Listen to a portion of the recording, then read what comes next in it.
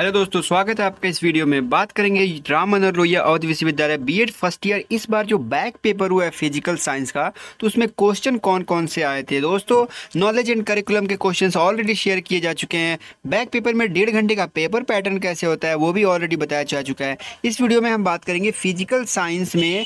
दो हज़ार इक्कीस में जो बैक पेपर हुआ है बी फ़र्स्ट ईयर का, उसमें कौन कौन से क्वेश्चन आए हैं? तो चलिए दोस्तों, वीडियो को शुरू करते हैं। दोस्तों, अगर मैं क्वेश्चन पेपर कुछ इस तरह से दिखाऊँ तो बहुत ज़्यादा समझ में नहीं आएगा और काफ़ी ज़्यादा टाइम लग जाएगा। आपको स्क्रीनशॉट लेने में भी प्रॉब्लम होगी।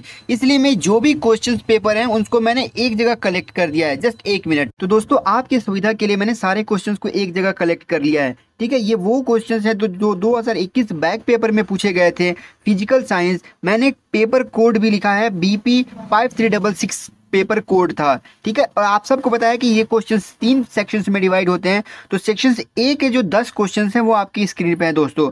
अब आप इसे स्क्रीनशॉट ले सकते हैं आसानी से। आपके सारे दस क्वेश्चन एक पेज पे आपको मिल जाएँगे। मैं एक बार क्वेश्चन पढ़ के बता देता हूँ। फ़िज़िकल साइंस में जो पहला क्वेश्चन आया था, उससे पहले आप यहाँ पर थोड़ा सा ध्यान दे दीजिए कि इस पेपर फॉर्मेट में सेम वैसे जैसे मैंने आपको बताया था। देखिए, यहाँ पर साफ़ लिखा है कि किन्हीं पाँच प्रश्नों के उत्तर दीजिए। प्रश्न का उत्तर लगभग पच्चीस शब्दों में होना चाहिए। और वो जो पाँच क्वेश्चन हैं, वो दो दो नंबर के, यानी कि टोटल दस नंबर के। आपके पास टोटल दस क्वेश्चंस दिए गए होंगे और दस में से आपको पाँच करना है। तो क्वेश्चंस क्या थे वो आप एक बार देख लीजिए। बैक पेपर में जो पहला क्वेश्चन पूछा गया था, शिक्षण सहायक सामग्री क्यों आवश्यक है?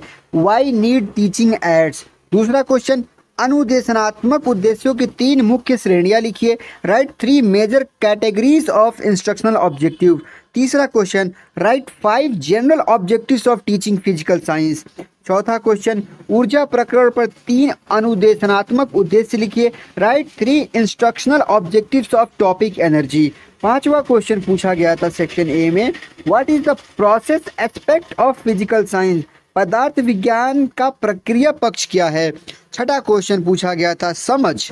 अनुदेशनात्मक उद्देश्य के लिए तीन क्रियात्मक प्रक्रिया लिखिए। दोस्तों, यहाँ पे थोड़ी सी मिस्टेक हो गई है अनुदेशनात्मक और प्रिया में। यहाँ पे क्रियात्मक प्रक्रिया लिखिए था। Write three action verb of instructional objective understanding सातवां क्वेश्चन था क्षेत्र भ्रमण क्या है? What is a field trip सातवां question brainstorming method of physical science पदार्थ विज्ञान शिक्षण की मस्तिष्क विप्लव विधि क्या है?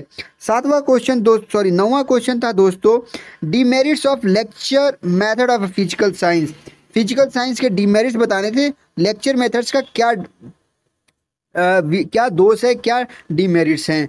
नौवा क्वेश्चन और दसवां क्वेश्चन है दोस्तों what does heuristic mean heuristic का अर्थ क्या है? तो दोस्तों, दसों क्वेश्चन जो इस बार पूछे गए थे, वो आपकी स्क्रीन पे ला दिए गए हैं। ठीक है, ये वो दस क्वेश्चन थे जो इस बार BEd first year physical science के बैक पेपर में पूछे गए थे। अब चलिए मूव करते हैं सेक्शन बी की तरफ़। दोस्तों, मैं एक चीज़ नोटिस कर रहा हूँ कि डेढ़ घंटे का पेपर में जो टफेस्ट पार्ट है, जो थोड़ा सा डिफ़िकल्ट है, वो सेक्शन ए रह रहा है। सेक्शन ए के अलावा जो सेक्शन बी और सेक्शन सी है, वो बहुत ही ईजी हो जाता है आपको सॉल्व करने में। रीज़न क्या है, मैं आपको दिखाता हूँ। चलिए सेक्शन बी पे चलते हैं। दोस्तों, ये है वो सेक्शन बी के क्वेश्चंस जो इस बार बैक पेपर में पूछे गए थे मेथड ऑफ़ टीचिकल टीचिंग फ़िज़िकल साइंस मैं रीज़न क्यों कह रहा हूँ कि ये फॉर्मेट इजी हो जा रहा है? क्योंकि इसमें आपको टोटल पाँच क्वेश्चन दिए गए और पाँच में भी एक एक्स्ट्रा ऑप्शनल क्वेश्चन दिया गया है। और आपको करने किन्हीं दो प्रश्नों के उत्तर देने हैं। यहाँ पे आप देख सकते हैं, लिखा है कि दो प्रश्नों के उत्तर देने हैं। कहाँ? यहाँ लिखा है, आप ध्यान से देखिए। किन्हीं दो प्रश्नों के उत्तर दीजिए? प्रत्येक प्रत्येक प्रश्न का उत्तर लगभग 200 शब्दों में हो। तो देख सकते हैं आप टोटल पाँच क्वेश्चंस में आपको केवल दो के जवाब देने हैं। और आइए पहले क्वेश्चन देख लेते हैं, फिर इस पर विस्तृत बात करेंगे, क्यों ये आसान हो जाता है। पहला क्वेश्चन था, पाठ योजना और इकाई योजना में अंतर क्या है? What is the difference between unit and plan what is the sorry how does a lesson plan differ from a unit plan इसको ऐसे भी कह सकते हैं कि what is the difference between lesson plan and unit plan और इसी में ऑप्शनल में था कि एडगर डेल के अनुभवों की संख की व्याख्या कीजिए। Explain Edgar Dale's cone of experience तो ये दो क्वेश्चन में से कोई एक आप कर सकते हैं। तीसरा क्वेश्चन क्या था दोस्तों? तीसरा क्वेश्चन था what is the impact of physical science on modern society आधुनिक समाज पर पदार्थ विज्ञान का क्या प्रभाव पड़ा? और इसी में जो ऑप्शनल क्वेश्चन था, वो था कि prepare ten various objective types of question on any topic of your choice in physical science अपने पसंद के पदार्थ विज्ञान मतलब फ़िज़िकल साइंस के किसी भी एक टॉपिक पे, नहीं, किसी एक टॉपिक पे नहीं फ़िज़िकल साइंस के आपको टेन ऑब्जेक्टिव क्वेश्चन दस बहुविकल्पीय क्वेश्चन तैयार करने थे। प्री फ़िज़िकल साइंस के होने चाहिए। दस बहुविकल्पीय क्वेश्चन आपको तैयार करने थे। और दोस्तों, चौथा क्वेश्चन क्या था? मैं अभी इस पर एक्सप्लेन करूँगा कि क्यों ये फॉर्मेट इजी हो गया है बच्चों के लिए। चौथा क्वेश्चन था कि differentiate between the entering and the terminal behaviour of student regarding teaching Archimedes principle Archimedes के सिद्धांतों के शिक्षण शिक्षण संबंधित छात्रों के प्रविष्ट एवं अंत व्यवहारों में अंतर स्पष्ट कीजिए। और चौथे में ऑप्शनल था how is the report of physical science project prepared किसी पदार्थ विज्ञान प्रोजेक्ट का प्रतिपादन कैसे करते हैं? दो क्वेश्चन और हैं, उसको देख लीजिए, फिर इसको थोड़ा सा डिटेल्स में डिस्कस करेंगे। पांचवा क्वेश्चन था, विषय वस्तु विश्लेषण से क्या तात्पर्य है? पदार्थ विज्ञान शिक्षण में यह किस प्रकार सहायक है? Is meant by content sorry what is what यहाँ पे मिस हो गया? What is meant by content analysis आगे मैंने यहाँ पे सुधार किया होगा इसको कि what is meant by content analysis how is it helpful for teaching physical science विषय वस्तु विश्लेषण में इससे क्या तात्पर्य है? पदार्थ विज्ञान शिक्षण में यह किस प्रकार सहायक है?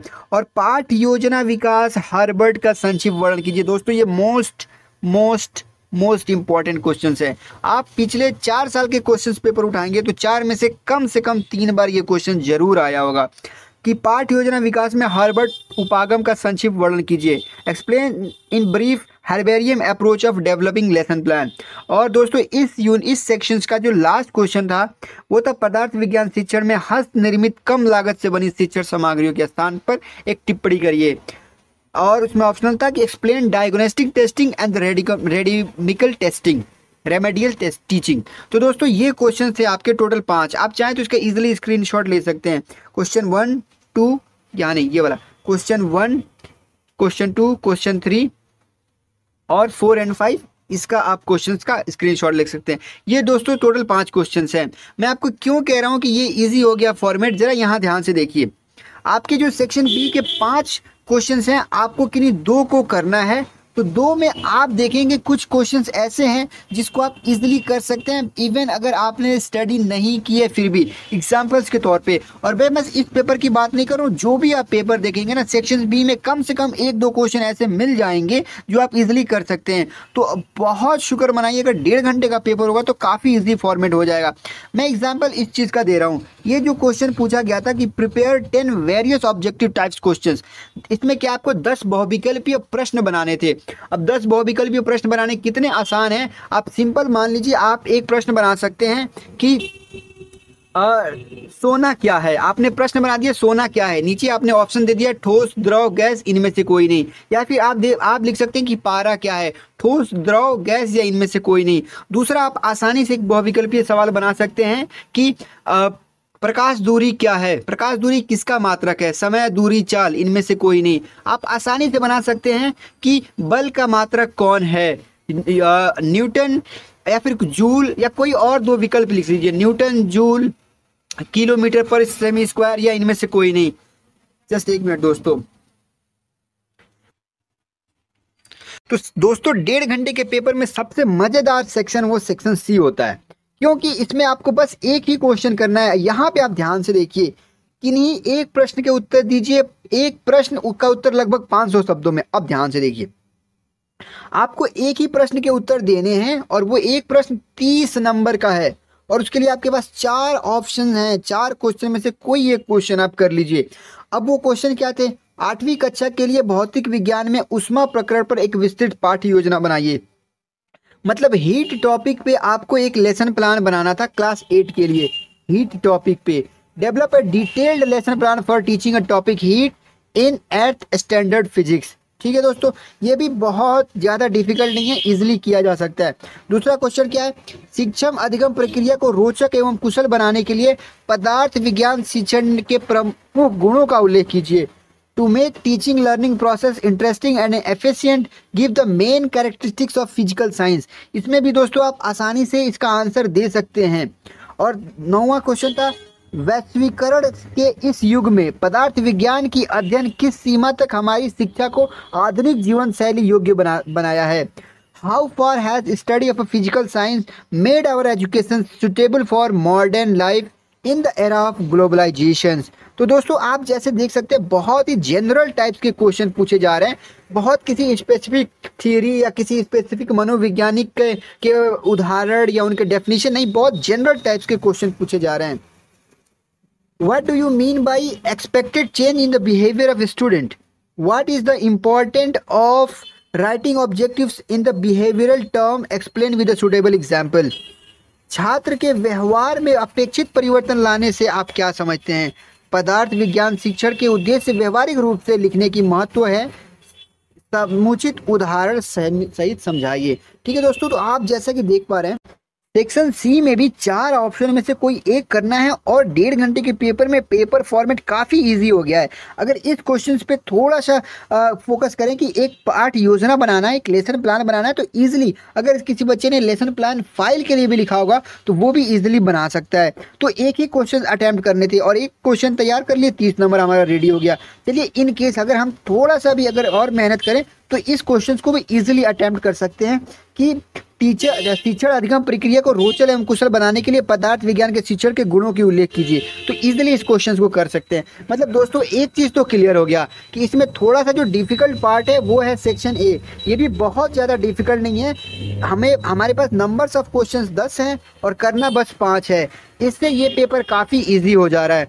ठीक है दोस्तों तो ये क्वेश्चन थे method of teaching physical science के, और मैंने आपको यहाँ पे बता दिया कि क्वेश्चंस क्या क्या आए थे। इसके आंसर्स क्या थे, उस पर भी वीडियो बन जाएगी, और जो अब वीडियो बन रही है, वो तो सेकेंड और third paper psychology of learning and development और आईसीटी एजुकेशनल टेक्नोलॉजी इन दोनों के बैक पेपर के क्वेश्चंस क्या आए थे? उस पर वीडियो आपको कल सुबह तक पक्का मिल जाएगा। और साथ ही साथ मैं एक चीज़ के लिए क्षमा याचना हूँ सेकेंड ईयर वालों से। बी एड सेकेंड ईयर का मैं बहुत ज़्यादा पोस्ट नहीं कर पाता हूँ, क्योंकि एडिटिंग और ये सब करने में काफ़ी ज़्यादा टाइम लगता है। बट आई प्रॉमिस कि कल सुबह आपका बी एड सेकेंड ईयर का जो फ़र्स्ट क्वेश्चन है फ़र्स्ट पेपर है, उसके बैक पेपर में क्या क्वेश्चन आए थे, वो कल आपको मिल जाएगा। तो दोस्तों, मुझे बहुत खुशी होगी अगर आप चैनल से सब्सक्राइब करके जुड़ते हैं तो। मेरे एफर्ट को अगर आप सराहते हैं, फीडबैक में आप ज़रूर बताइए कि ये वीडियो आपको कैसा लगा, क्या ये आपके लिए हेल्पफुल था? और अगर नहीं था तो आप मुझे सजेस्ट कीजिए कि और कैसे मैं ये वीडियो को आपके लिए हेल्पफुल बना सकता हूँ। दोस्तों, फीडबैक ज़रूर दीजिएगा और चैनल को सब्सक्राइब करके ज़रूर जुड़िएगा। मिलते हैं अगले वीडियोस में, उसमें बात करेंगे कि second paper psychology of learning and development के बैक पेपर में कौन कौन से सवाल आए थे। जय हिंद, जय भारत। दोस्तों, अपना खूब ख्याल रखिए। जय हिंद, मिलते हैं नेक्स्ट वीडियो में। बब बाय तब तक अपना खूब ख्याल रखिए।